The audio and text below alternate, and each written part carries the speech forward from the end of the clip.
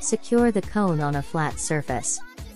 Slip the compression stocking over the cone with the calf band facing down and toe section facing up. Drop the jelly to the base of the cone. Grab the edges of the top band from either side and pull it up and over the jelly. Adjust the jelly so that the heel section is one the edge. To don the stocking, place the jelly in front of the foot so that the heel section is facing down and away from you. Now gently roll the jelly over your foot and then the leg.